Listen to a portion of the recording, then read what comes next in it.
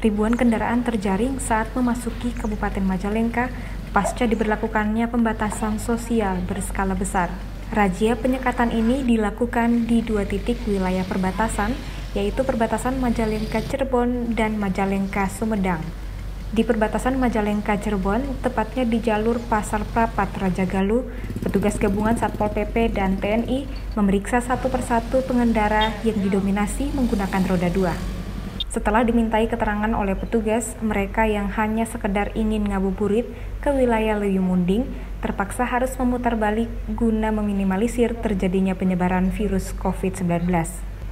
Sementara di tempat yang berbeda, petugas kepolisian Polres Majalengka melakukan penyekatan di perbatasan Majalengka Sumedang di Jalan Nasional Kadipaten Cirebon.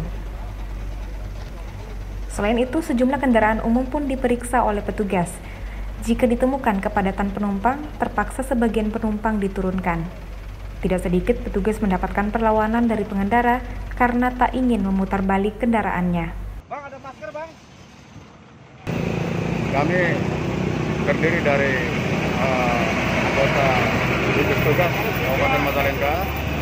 Hari ini kita menggelar operasi uh, dalam rangka penindakan ya hari keempat diberlakukannya PSBB kalau kendaraan selama PSBB itu kalau roda 4 itu sudah ada di angka 1.500, kemudian roda 2 di angka 2.000.